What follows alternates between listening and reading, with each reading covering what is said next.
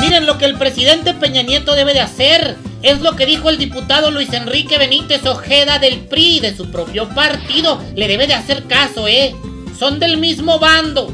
Se me va derechito con Donald Trump, por favor. Amenazarlo diplomáticamente de poder acudir a instancias internacionales y a organismos que también tendrían que velar por la situación económica del mundo. No, tampoco venga usted con amenazas, porque si esas vamos, debería usted de andar de menos de potonga.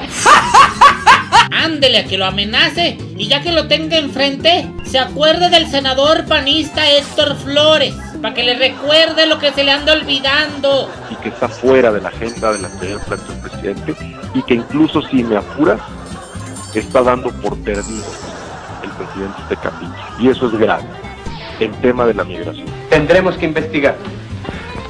¿Servicio de inmigración? ¿Cómo que está dando por perdido el tema de la migración? Si de eso vive este país, el petróleo se va a acabar a la fregada.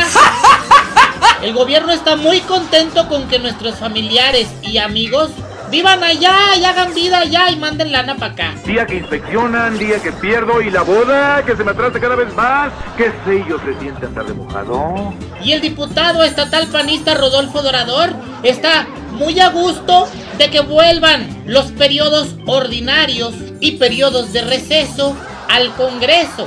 Eso es, pero no crean que es para chambear menos, no.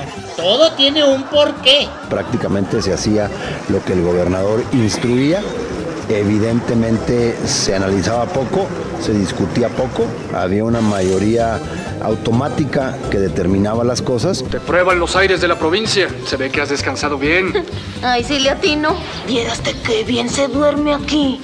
ah, caray, ah, caray. ¿Y si se analizaba poco? y se discutía poco, pues ¿por qué trabajaban más todo el año? Y ahora, que se supone que no es así, que se analiza más, que se discute más, que el gobernador no les dicta a los diputados la línea, van a sesionar menos, pues eso no tiene sentido. Para que vean que la política descompone corazones y conciencias. Y la fregada. Le parecerá extraño, pero voy a tenerle confianza. ¿Y por qué me va a parecer extraño? Si yo le tengo confianza a usted siendo lo que es. ¿Qué de extraño tiene que usted me tenga confianza en mí siendo lo que soy? Eso sería meternos en materia de otra discusión. Vayamos al grano. Pues vamos al grano.